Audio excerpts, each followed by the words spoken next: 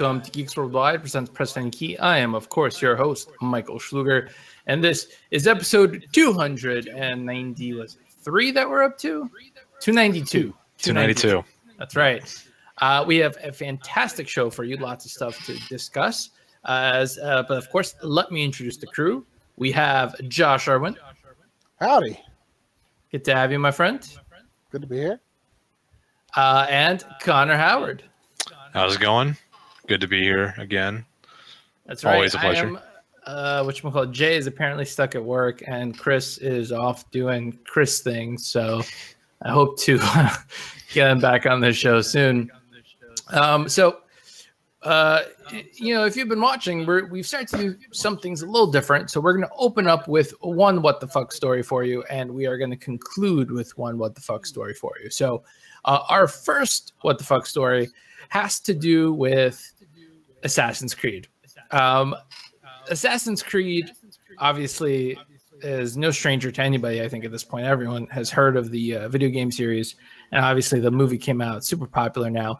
But it, it has a history of having some really weird uh, partnerships um, when the games launch. The one that still sticks out in my mind is they had the partnership with like Gillette back when Unity came out. And if you bought like Gillette shaving cream or some sort of razors, you would get like stuff. It would like give you like little DLC bonus, like a weapon or some other stuff in the game. And I always thought that was super odd. Uh, but Ubisoft has outdone themselves this time.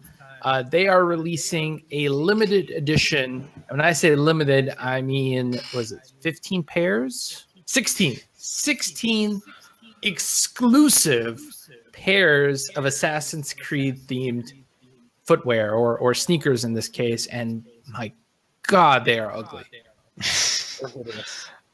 I mean, they're pretty weird looking. They've got like that really high top sole. You know, it's like the sole takes up half the shoe almost. You see how it like curves around the underside. Like looking at the pictures of it, it's just like that's way too much sole or way too much rubber or whatever.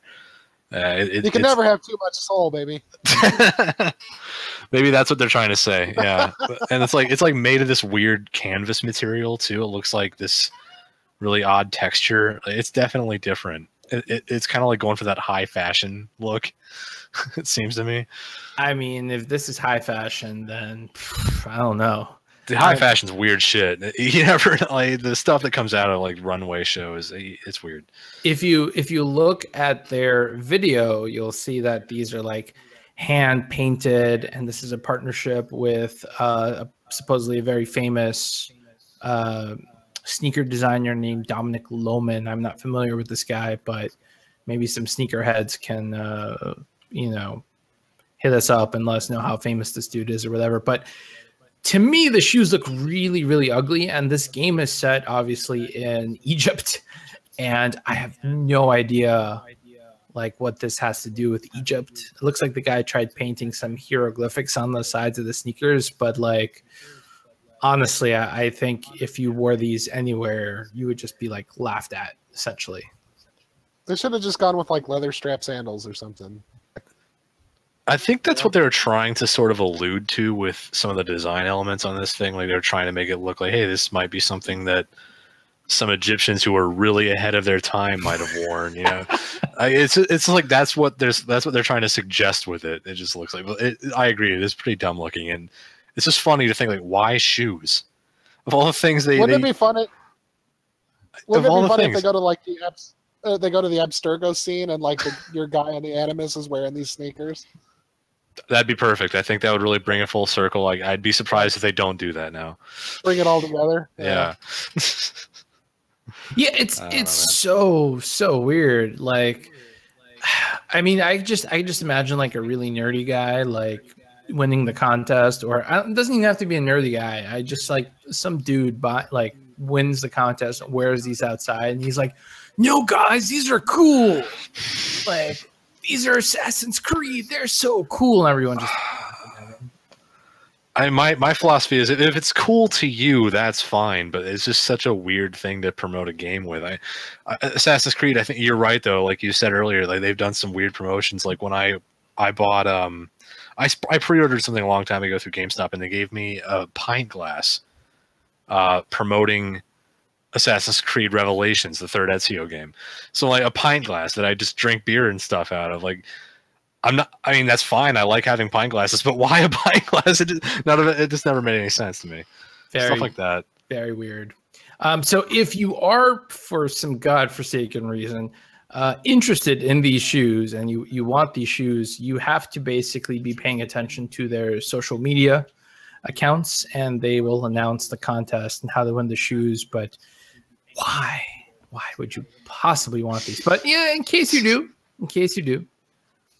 Um, but moving on, let's let's talk about the real news, the regular news for the week. Um, we're going to start off by talking about some 16-bit stuff. Um, the first story has to do with something called the Super NT. Um, so, if you're not familiar with this company, um, and the Super NT is the name of the the, the product, not the uh, company. The name of the company is, I think, Analogue. Um, I believe that's the name of the company. A couple of months ago, maybe even a year ago now, they came out with this NES um, console. Um, and I think they called that one, they just called that one the Analogue NT, and this thing was $550. And basically, what they were promising you was a perfect um, NES uh, recreation experience that upscaled to 1080p. And the way they did it at the time was they had the actual NES uh, chipboards inside the console. That's how they were able to replicate the emulation perfectly because it was the original hardware. Um, this is now the SNES version of the same thing, except it is not using uh, the um, the original hardware. It's using something called FPGA. Called? It had like a weird name to it. FPGA. Yes. The F- FPGA thing? Yes, or? yes. An Altera yeah. Cyclone V FPGA. I have no idea what this is, but apparently it's, it's a really it's, it's, a particular kind of circuit board um, that can can you hear me at all? I I can hear you. You're a little quiet though. Oh, okay. I don't know what's up there. So FPGA is basically a type of chip that uh, you can all the like a circuit board would have um, and it lets you perfectly emulate. Is Josh having trouble? Any kind of any kind of integrated chip. Yeah, he, no? he's Josh. You're just like a little bit uh, choppy, but I understood. I understood what you said, but you are a little choppy. I didn't hear him at all. What did he say? He basically said that it's a special kind of chip that can, it's a special kind of circuit board or chip that can emulate things perfectly. Oh, okay. Yeah. Pretty neat. Good, good technology for this thing to have, I guess. I guess. Um, the you know it's going to cost you for the pleasure. Um, of course. Yeah, it's going to cost you hundred and ninety dollars. And that's not terrible. That's that's a decent price for. It sounds like what they're packing into this thing and what it can do. I don't know. I mean, that's that's not as bad as what was the the super. Uh, what, was the new thing that just came out? Like the uh, that NES thing. I think it was like five hundred bucks. That, yeah, that was that, the NES one was 500. Uh, yeah. That came out a couple of months ago, if not a year ago. Right. Uh, I, I honestly think they're both um, a ridiculous price. And yeah, yeah. So this this one basically can be sort of hacked or modded to allow for other games to play on the on the hardware. Obviously, the other one couldn't do that because it was the literally the exact same hardware as uh, as the Nintendo console. Mm-hmm. They literally like just bought old and used Nintendos, ripped them open, took out the hardware, cleaned it, and put it into their, you know, into a new shell. Right. Uh, this is different. Um, but even so, I mean, why would you get this uh, when you could just, for eighty dollars, for example, pick up a SNES Classic or SNES Mini, depending on. Right. Right. You know. Yeah maybe some people see the technology in it as the investment. They think there's potential here. Like maybe they think if they jailbreak it and make it compatible with all these other, you know, platforms and games, that that that makes that makes it so they get their money's worth. Maybe that's their thinking. I'm not quite there either, but I'm more with you. It's like not still not worth it to me, but maybe that's what people are thinking. I don't know. Yeah, there there are people that are really into uh, streaming and video quality, and these apparently do it better than the NES Classic. Then you can get emulated, all of that stuff. So that's that. They're for high end. They're for people who are very concerned about high end video quality.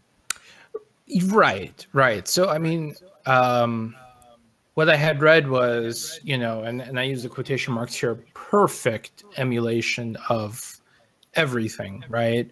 But in my experience, for the most part, uh, any anytime I used an emulator to play a game, I never really felt like something was off. Now, obviously, you know, I played way more games on ROMs than I actually had back in the day, so maybe something was off by half a second or something, but it was never off in such a way that the game became unplayable or something like that. Um, how do you how do you guys feel about that? How important is it to be perfect emulation versus really good? I personally can't really tell the difference between really good and perfect to begin with, so I, I don't have very high standards. I mean, it's it's nice to hear that this thing is capable of such you know crisp renderings, but I don't necessarily need that as a consumer. It's it's nice to know that it has the firepower to do that, but I'm, I'm like that's not a priority for me. Yeah, it's not it's not a priority for me either. I think it's neat. It's definitely a boutique product for those people that care about uh, video signal quality. But uh, for the average consumer, they might as well get a SNES Classic or something. Yeah, I I completely agree with you guys. Um, the only and and just sort of like echo a little bit of what Connor said. You know, if you framed it as a device that plays like 20 different if it emulates perfectly 20 different systems or something like that, then yeah, I could see it. But mm. um, I, I, for me, I just don't see the, you know, it doesn't, it doesn't do anything for me. I can, I can just emulate it on my computer without any kind of an issue. So, right. Um, but you know, if you're interested, now is the time to go. Uh, they will likely sell out. They usually sell these in limited numbers. Um, this one in particular um, might there's certainly going to be more availability since this is a readily available circuit board uh, opposed to you know original hardware. So you know, be more plentiful. But uh, I'm not sure how many of these they're making. Hmm. These guys, I think, like to make things exclusive just to, you know, for the sake yeah, of now, exclusivity, to sell you to yeah. to to raise the price a little bit on you. Right. Yeah, I, I mean, their Analogue NT was like a machined aluminum case and all that stuff. This one actually has a plastic case, so it's a it's a lot easier to manufacture. So there will probably be a lot more of them. Right, and you can so you can pre-order them now for the low low price of one eighty nine ninety nine. So enjoy, enjoy. Um, the next um, 16-bit story we have for you and the last one for today. Uh, this one's really interesting to me, actually. So, um, for those of you that had a uh, Sega Genesis back in the day, uh, a game came out for, I believe it was both Sega Genesis and Sega Saturn, um, although I think it got a little more prominence on Sega Saturn, called Sonic 3D Blast. Did you guys ever play this one as a as a kid? I actually didn't myself, but I I could never keep up with how many Sonic games there were. I rented it when it came out. It was it terrible? Uh, it was not a good game. Uh, it's kind of, if I remember correctly, it's kind of a three-quarter overhead perspective. Um, yes. On a kind of on a kind of a grid, you can kind of go up, down, left, and right. Correct. Um, but it did not. It never controlled very well, and it just it wasn't a good game. There was nothing fun about it. Well, I have some good news for you, Josh.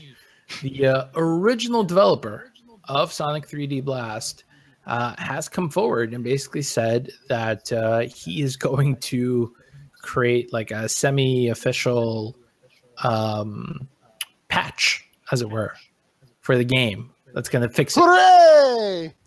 That, that's right. That's I'm right. So excited. It only 21 years. It only took 21 years for this thing to come out.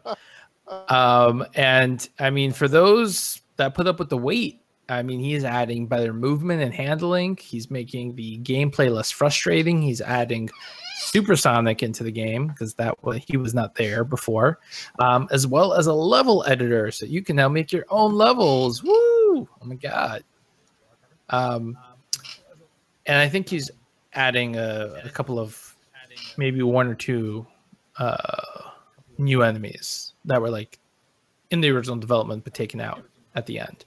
Um, the bad news is he's not doing this full time. He's doing this in his spare time. The guy's name is, in case you want to look him up, is John Burton. Um, he's a well-known developer, and uh, basically in his spare time, he's like, "Yeah, I'm gonna do this for funsies." Um, what, what do you guys think? Cool or a little bit late to the party?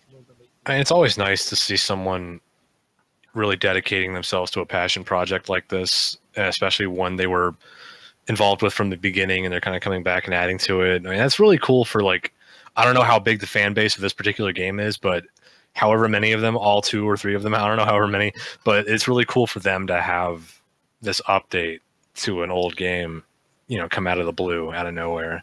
So that's pretty neat. I, I, I know that I personally feel like being a Sonic fan is kind of like being a Browns fan, Cleveland Browns fan, because like you have to get used to so much disappoint, uh, disappointment and letdown. Like you know, they they got they got so many garbage games thrown at them over the years that if one is updated to be a more complete and fulfilling package, hey, that's that's great for them. So that's cool. I mean, I don't, I'm not a Sonic fan. I haven't really, I, I haven't played a Sonic game in years, but it's neat, you know. Good, to, yeah. It's, it's a nice news. I mean, the the uh, Sonic Mania has been getting really, really positive buzz and really, really positive reviews. So um, I feel like Sonic is, you know, if if only a little bit, sort of gaining some new fans after years of disappointment upon disappointment. Uh-huh. So I mean, this is nice. Yeah. I'm I'm curious to see if this will start a trend, right? Because he's calling this the uh, director's cut, as it were, of the game, and I wonder if other people will come forward with like, yeah, this game was kind of shitty when it first came out, but um, I'm gonna fix it now. So that would be cool if that that becomes more common. I think because like there's remasters, but those are usually by the publishers wanting more money. Right. And director's cuts would be more like the the creative people kind of coming back and you know, completing their vision, which would be cool. Yeah, how crazy would it be if they made like a good game now? I mean, you know, like he's had 21 years of feedback, so um, can't yeah. be that hard at this point. Oh, easy, easy peasy. I, I would. I mean, I'm pretty sure he has a pretty good idea they're like, "Oh, you made Sonic 3D Blast? It sucked. Here's why." I'm sure. I'm sure he's had that happen to him like a few times. Oh least. yeah. Oh yeah, once or twice. Four so, or five times. Yeah, a lot. That's kind of interesting. Um, mm. let's see what we got next. Uh, yes. Humble Bundle. So this this this made a few waves in the gaming world. Uh, just this past week, um, Humble Bundle announced that it was being purchased by IGN. Uh, so Humble Bundle, if you've been living under a rock, is basically a website that sells bundled video games, and the majority of the profits go to charity. Um, although they do have the you you you get to set how much money you want to pay. So the bundles are there's a, certain games which are a dollar, and then if you pay more than a certain amount, you get additional games, and you get to decide how to split your payment um, via charities of your choice. And uh, Josh disconnected. And uh, what you call it? I've used the site a lot. Have you mm-hmm. used the site a lot, Connor? Oh yeah, yeah, several times. I've gotten some really good bundles from it. It's, I mean, I've always really admired the business model of it. I mean, I don't even know if you could call it a business model because, you know, it's obviously a very charity focused thing. But I've always liked, you know, that mission of theirs. Uh, I think most recently, I, I did a I did one recently, but one that I remember pretty well was when they had a bundle for Battleborn. You, you remember Battleborn? 'Cause no Yeah, one else does. Uh, it was like a fifteen dollar bundle to get everything, and I did it, and I, I I I got like Mafia Two out of it. I got the Darkness games out of it. I got Battleborn. I got a few other you know bits and pieces that were really nice to have. So it's like you know such a great value, and a you know that goes towards such a great cause. Uh, you know, side note, Battleborn was way more fun than I expected it to be. Uh, I think it's really underrated, personally. Is dead. Just doesn't Thrown, matter. I know, I know it's dead. I can't find a game to save my life anymore, but doesn't exist. it's like when I was playing it, when there were still people on it, it was really fun. Just throwing that out there. If it makes it come back, great. But but no, bottom line, Humble Bundle's pretty cool. Uh, but it, it's it's crazy that it's crazy this is happening, but at the same time, it's not that crazy because these are two pretty big names in the industry, IGN and Humble Bundle. I mean, IGN has its hands in everything. They've you know they've been a reviewer for a long time. They've they've been involved with uh, Kongregate, which is like an online flash game platform that was pretty popular a while back. I don't know if you remember Kongregate, but like they've they've just done a lot of ventures, and this kind of makes sense for them. Hopefully, they just sort of keep what's good about the Humble Bundle intact as they go forward. That's my that's my wish. Otherwise, I don't really have a problem with it as long as you know it works out best, you know, for the better for both parties. Well, so the so the interesting thing is obviously like how much they expanded, right? Because originally they it was set up by indies, you know, Mhm. by and for indies, as it were. But it expanded so much. They started selling books. They started selling software. Um, they started selling mobile games. I've purchased some mobile games uh, from them as well. Mhm. Um, and then they opened up the they have a monthly subscription thing where you can get like uh, some pretty good games for cheap if you subscribe. Like uh, you That's know, right, like a- yeah. it's a subscription based thing. So you pay something like 60 bucks for three or four months and they just give you different games every month. They have a store where you can support indies. And uh, my understanding is it's pretty favorable to developers. Like developers get a bigger piece of the pie in, in this particular store. Um, Interesting. yeah, so it's it is very interesting that uh, that IGN bought them. Um, does it worry you? Do you feel like IGN? IGN said like, and this is a direct quote. They said uh, the idea is just to feed them with resources they need to keep doing what they're doing. They want them to quote stick to the fundamentals in the short term. We don't want to disrupt anything we're doing right already because the shared vision and overlap of our customer of our customer bases, there's going to be a lot of opportunities. Um, but are are you worried about this deal? Do you you know what what's what's your worst case scenario here?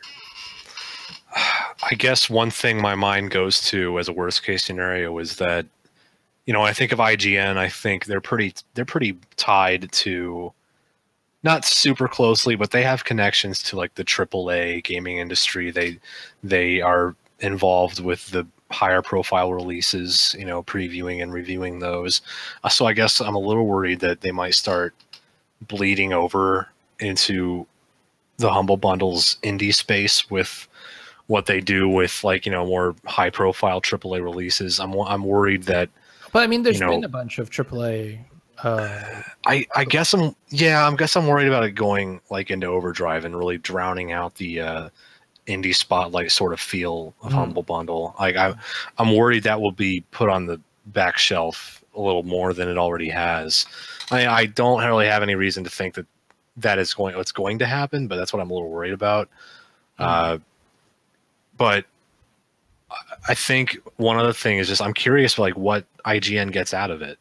Like why why why own Humble Bundle? What's the what's the uh, angle for them? What's the advantage for them? I mean, I know there's like tons of cross promotional potential there, like you know just the you know merging the brands and you know all that stuff, but I mean, it's not like going to be a cash cow for them necessarily if they keep the charity model. So why do it other Well, than like as a PR move or just as a brand expansion move? I, I'm just like not really seeing that part. They- you know? they get to they of acquiring the company get to the company makes. one more time, Josh. So they get to write off the expense of acquiring the company, and then they get to write off that the Your connection is terrible. So sorry. Like really, really atrocious. Something about writing off the expenses of a company, Oh, okay. but I didn't. Yeah, catch. maybe like a tax thing. I guess I don't know. Maybe I, I Well, the, the thing to me is it kind of, in my opinion, creates a bit of a conflict of interest. Obviously, if you're writing about games and also own a website that sells games, um, yeah, that yeah. that creates a bit of a conflict of interest there. that's been the case with Game Informer for as long as it's existed, though. Basically, because I don't know if you're aware of this, but Game Informer is owned the game, the magazine, the mag, the online print magazine of Game Informer. It's owned by GameStop or uh, GameStop Incorporated. So the Yes. retail chain, yeah, the real retail chain that's involved in selling these video games, you know, owns and publishes a magazine promoting said video games. So I don't know if that's just the nature of the beast that we're just going to have to get used to. But you, I mean, you have a point. I definitely take that point where it's like it could get kind of shady with, hey, here's an indie game that you should, you know, you really should consider playing, which we also, you know, conveniently just just so happen to have a special on in the in the humble bundle or whatever. So there's that.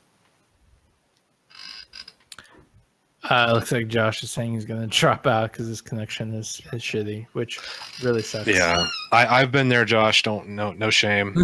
sorry sorry to see you go, but it happens. It I mean it, do- Yeah, it it literally happened to me like two weeks ago, so I can't judge. I, I yeah I've been there. Indeed. All right, we are back. So sorry about that technical difficulty. Um, it sucks to lose someone. Uh, you know, it sucks to lose a, a guest host. Uh, He's not even a guest host. I shouldn't say that. He's not a guest anymore. It's it sucks to lose a co-host. That it Uh, does. but the show must go on. So we are going to continue to bang this out. Um, the next story has to do with Activision, which, you know what? I honestly feel like Activision and EA are in like some secret competition to like decide which company is more evil and like which company is more terrible. Yeah, it's been a rivalry between the, between those two for years and years. like it just goes back and forth. You Yeah. know, like is like, oh yeah, Activision. Well, we're gonna make a shitty Mass Effect game. You Activision's like firing back, like, oh yeah, EA.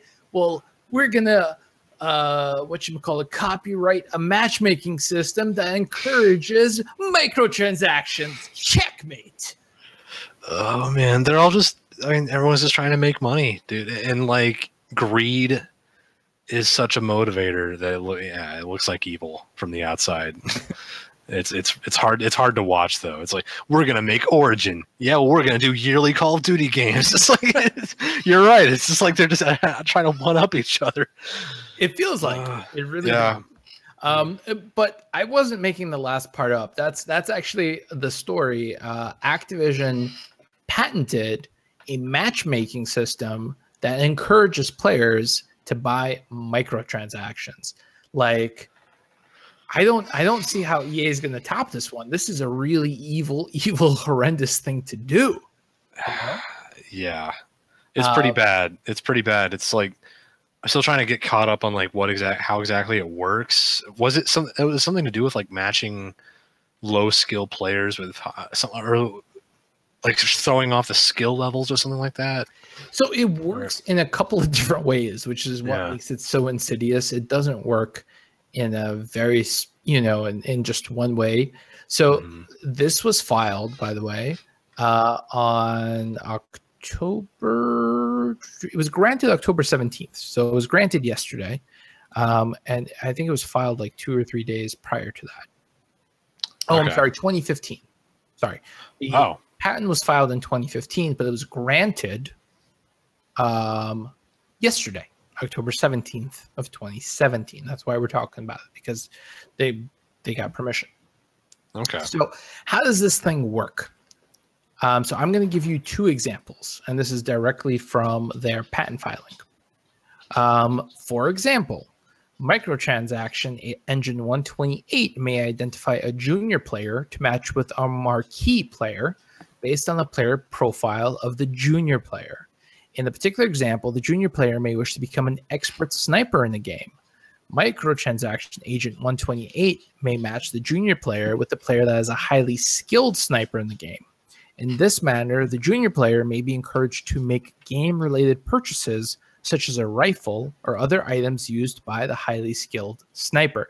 So, translation is it might detect that you have an interest in sniping. It will then match you with a player that has like really elite sniper stuff.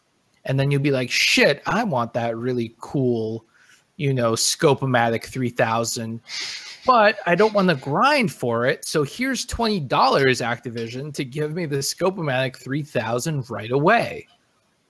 Wow. That is okay. evil. That's like Lex Luthor level Yeah. evil. That- That's mad genius devious. Like that's that's so underhanded. I. I almost I almost have to admire the the, the, the, the scumminess of it, like the, the skullduggery of it. That's crazy, man. right? Um, there's uh, by the way, that's that's one example. Another example, if the player purchased a particular weapon, the microtransaction engine may match the player in a gameplay session in which the particular weapon is highly effective. So now what the game is saying is, oh, you bought a shotgun? All right.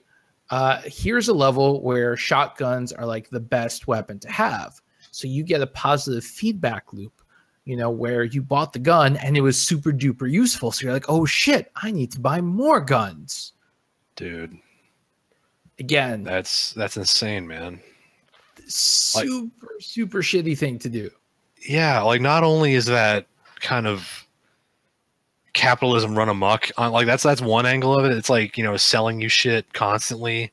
But the other angle is like it's just kind of upheaving the entire structure of how online games are like managed. I thought normally when you try and join a game, it kind of like just goes by, you know, your your location, your connection type, and all that stuff, and like what what kind of mode you want to play, and then what games are ongoing, and it puts you where you know you want to go. But it sounds like they want to just put it in a more direction, like it's more tailored to what you own and what they want you to buy. Like that's a complete shift in how matchmaking works. Well, there's still everything that you mentioned is still being analyzed. They're still looking at your latency, uh, Uh-huh. and your. But now they're also putting in your weapon preference. Now they're taking a look at like all these other factors that they hope to use to influence you into spending more money. It just sounds like it really complicates it. You know, that's crazy. it's it's super messed up and i think from a developer standpoint i mean it, it messes with the balance of your game can you imagine uh, a game yeah. of destiny because obviously the system hasn't been implemented in any game yet but i could absolutely see being implemented in a game like destiny in the future Yeah, especially talking about Activision, like you know the Battlefield games, the you know Call of Duty, like it's it sounds almost tailor made for games like that. So that's that's definitely where I could see it happening. That's You know really what- worrying. Yeah. you know what ea is thinking right now ea is thinking like fuck they beat us to the punch Oh yeah. We're gonna have to really pull out all the stops this time. Like, how are we gonna top this one? It's they're gonna have to like block your screen with a targeted advertisement for in-game guns or some shit like that. EA is gonna have to really go all out. EA is gonna. EA is basically. I think my dog needs to be walked. Oh yeah. Um, can you hold it? Can you hold it for like another 10, 15 minutes for me, please? This is important, buddy. Yeah. Trying to get this done. Um, bless you. Um, Yeah. EA is gonna have to like I don't know create a game so insanely fun. Actually, they've got that game coming out. Um, ah, shit, was Anthem? Anthem. Yeah, that's true. I think I think what they're going to do with Anthem is it's going to be amazing. They're going to give it away for free, but then every every like 20 minutes you have to watch 10 ads to continue. playing like that. that's that's the answer I see for this. Oh my god, it's it's sad how much I can believe that. Like that's it's sad how I can see that as possible. god I'm damn. That's the YouTube model. It's it's Yeah. free, but you know, watch Or- an ad every now Or and they'll then. give you they'll give you a boost if you watch like five ads or answer a survey or something. I swear. That's how so many mobile mobile games work already. Yeah. So it's it's coming. um, matter of time. Um, so yeah, this is this is pretty terrible. Um, I'm gonna try really hard personally to not support Activision, but it um, it makes me think of something that Jay said the other week that I'm gonna bring up in the next story because it, it has to do with more shittiness. Uh, because you know you could argue almost that EA has answered the call already of Activision uh, this week because they closed down Visceral Games. Uh, that's right. Visceral is gone. Um, now, you you know that name might not mean anything to you, but you know their games. Um, Mhm. Have you ever played something called Dead Space? Oh yeah. Oh yeah. Yeah, that That's was right. Visceral. All of them. Yeah. All three Dead Space games were Visceral. Didn't Uh, they also did some like Lord of the Rings games? I'm thinking like the licensed ones on PS2 back in the Licensed day. ones on PS2, the ones that were like action adventure games. Those were really good. Those were like some of the best licensed movie games I've ever played in my And life. They were great. If it was back in like the PlayStation 2 days because they would play the for the scene from the movie and then they would like seamlessly transition. Like shift into game Yeah. graphics. Hell the- yeah, dude. At the time, it was like, whoa.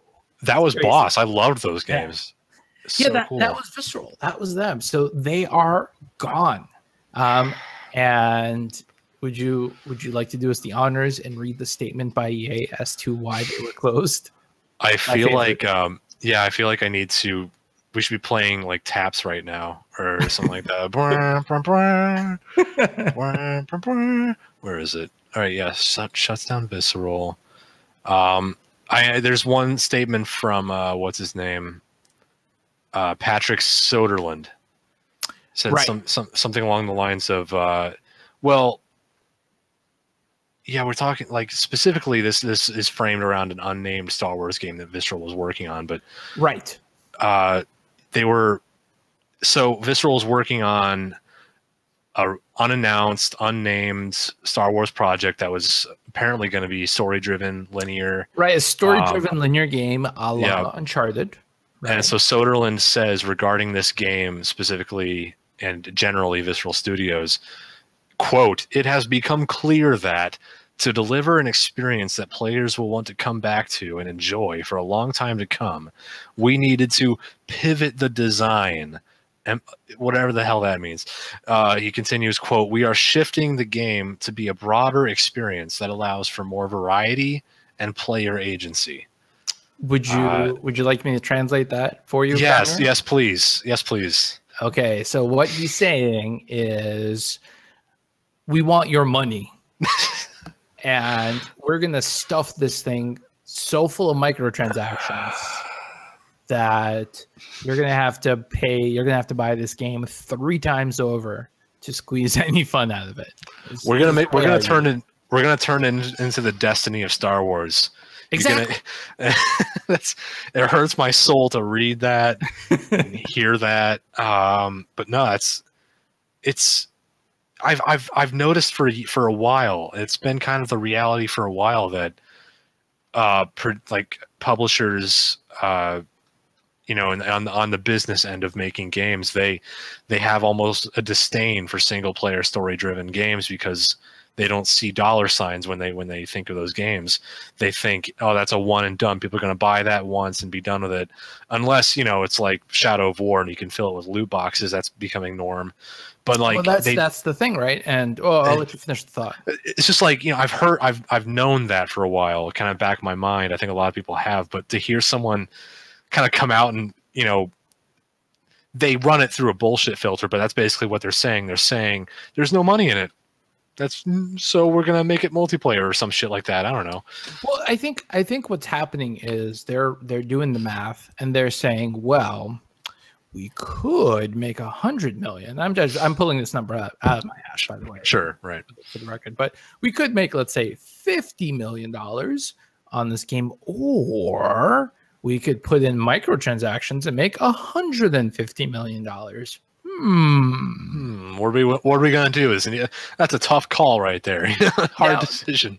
So the thing is, and I think this is going to be sort of a, a bit of a running debate in the gaming world for the next couple of weeks, but um, there are extraordinarily successful single player games that have come out of late. Obviously, the biggest one I think that jumps to everyone's mind is Breath of the Wild, single Sure. player story driven game. Yeah, there's a little bit of, there's a little bit of DLC for it, but for the most part, this is a one and done game. You don't none of the DLC is critical. Or Yeah, I mean, the, the Witcher Three was one of the most successful role playing games of the last couple of years. Uh, it, it has expansions, but it's a smash hit. You've got Uh, the Uncharted games, stuff like that. Uncharted, Nier Automata, Mhm. um, Horizon Zero Dawn. Again, Oh, yeah. has, it has one expansion coming out, but these games are massively successful. But on the flip side of it, right, you have a game like Grand Theft Auto 5, which not only was it a massive, critically acclaimed success, but the microtransactions uh, in GTA Online single handedly led Take Two to have a positive year. Like they Mhm. haven't released any new games, but they're making bank because of those microtransactions. they buttered their bread strictly on that game's microtransactions alone. And like GTA 5 is still selling for 60 bucks now. Like it's still that relevant of a game. Well, I mean, I've seen it certainly dip for the Steam sales to be a little. Yeah, bit more. occasionally, yeah, but like it's still like almost full price in most cases. It's, I'm pretty sure it's still near the top of the sales charts if you Yeah. look at it. Um, and that's the thing, though. There is a way to do it right, there is a way to do it wrong. Oh yeah. And it's so much easier to do it wrong than it is to do it right. It's more lucrative to do it wrong, for sure. So and and For that's and that's my worry, you know, because GTA 5 was amazing not because of the microtransactions. The single player was amazing and and untouched and left alone. Um, Mhm. what what happens in the online stuff doesn't really affect the the single player campaign at all. True. So I'm worried about it, Connor. I feel like I feel like certainly uh single player games aren't going anywhere. Like God of War is going to be launching next year and it's going to be huge. Yeah. You know, Right. it's going to sell like gangbusters. But um do you feel like we're seeing the beginning of the end? I don't think it's quite that bad yet. I, I think we're seeing. I, I hate to borrow Mr. Soderlund's words, but that's like the shifting realities of the market. We're seeing like that's where the money is right now. But I think enough creative people, I think enough developers are acknowledging that there's still there's definitely still a demand for these story driven single player experiences that we're still getting. Yeah, I'm gonna play. I'm gonna play devil's advocate for a second because for every game that we listed as a huge success, there's there's games that haven't been as successful. Prey, Resident Evil Seven. That's a pretty big title. Didn't do so hot. Dishonored I Two so. Yeah. didn't do so hot. And Deus Ex, which which personally hurts me because that's an amazing game. Everyone Yeah. should play it. Yeah, Mankind Divided was solid. I liked it. It's amazing. Such a good Yeah. game. Yeah. It didn't do well. It didn't commercially. Critically, it was, you know, like praised up and down, but commercially, mm-hmm. it just didn't didn't resonate. for You're right. You're you're right. I take that, but at the same time, there have been so many just absolute blunderous multiplayer launches too. Like, uh, there's so many uh, knockoff League of Legends, you know, Oh, sure. MOBAs that are coming out. There's so many, you know, under, you know, undersold mediocre first-person shooter. Like the hero shooter genre blew the hell up after Overwatch. I mean, think about Lawbreakers. I mean, is anyone playing Lawbreakers right now? It's Uh, shit no, like I that. think I think we showed a story. We and privately we shared a story that like concurrent player dropped to like less than hundred or something. I saw that. Yeah. So it's just like there's people are losing money on all kinds of games. People are making money on all kinds of games. I think there needs to be a return to the understanding that you can make a good game no matter what kind of game it is. It's just up to us, the players and the consumers, to vote with our vote with our wallets, really, and show the industry what we actually want. And they'll continue giving it to us. So it's like, guys, if you want loot boxes to stop, don't fucking buy them. like, don't don't buy them. Don't give them the money. And that brings me back to what Jay said last week and I think we're gonna have to leave the. Well, I'll, I'll give you a chance to rebuttal, but uh, this is something Jay said the other week. He said the um, the the video game market doesn't give a shit about us. Like we hardcore gamers, we serious gamers, whatever you want to, whatever term you want to give us. The the guys that are like playing everything that comes out, they don't care about us because we'll we'll totally walk away and be like, no, we're not going to give you our money. But as long as there's like ten whales or hundred whales out there, as long as a casual player, you know, throws them five, ten dollars, they they will keep doing this shit over and over and over again. That's that's probably true. Uh, I, I it's just I don't. Yeah, I can't really think of anyone I personally know who spends a significant amount of money on DLC like that, but they do exist. They are out there. So There's way more of them than there are of us. Unfortunate, but yeah, that's probably the case. Yeah. Yeah. All right. So that is all our regular stories uh, for the week. And I'd love to hear feedback from you guys about, uh, you know, your your take on this whole debate. Make sure you tweet at us at, at PAK Podcast. Um, and I think that leaves us with the last uh, what the fuck story of the week. This one is pretty amazing. Um, if you live in Taiwan and you're a fan of Gran Turismo, boy, is there a deal for you. Uh, you can get a PlayStation 4, uh, PlayStation 4 Pro, I should say, the VR headset, Gran Turismo Sports, a million dollar credit in the game. I don't know how much or how low that is in the game currency Yeah, a Sony Bravia 4K television, a racing wheel, a racing seat, and a brand new car with custom GT decals. That's right, a brand new car, a Mazda MX5 for Wow. the low, low price of $46,300 USD. wow. Now that, now that is apparently not a really a good deal. Um, I read that if you all the things separately, you have enough money to get yourself like a second Bravia television. Really, I, that's surprising to me because like Yes. listing those things off and then giving me that price as the bundle tag, it's like I I I immediately think to myself, that's that's not bad. It's a good deal. I mean, I, I when I think right? yeah, when I think the words new car, I think oh, it's got to be at least forty grand, and then you know all that other shit you, you threw in there. It's like sure, I get that, but like you know if you actually shop around and do the math, it's probably a ripoff. But That's what I, I- was told. Yeah. that's that's that's like uh translated or you know exchanged uh 40 46,000 US dollars from like over a million Taiwanese currency uh, in a Taiwanese currency I'm guessing right. Yeah it's like 1.3 almost 1.4 million dollars in Taiwanese currency Right. so that's uh like that's fuck a fuckload of money but I, I yeah like I, I think like that's not too bad though like all that stuff a, brand new Mazda MX-5 I mean that's like what do you what would you pay for that in the states like you know I have no idea. Off I know the lot. about cars. I I honestly think 40 grand for a brand new Mazda MX-5 isn't that bad Well, like I'm really thinking about it you move to Taiwan where it's cheaper to own cars. I don't know. I guess maybe that's a that's that's pretty crazy. I this this I think this to me kind of brings me back to our conversation just now about I think Jay mentioned whales, like the people who uh you know there's there's minnows, like the people who spend like five, ten bucks on a game here and there, like you know, on DLC here and there. And the whales, I think that's a term for people who their entire life is this particular game and they spend every cent they have on adding on to it.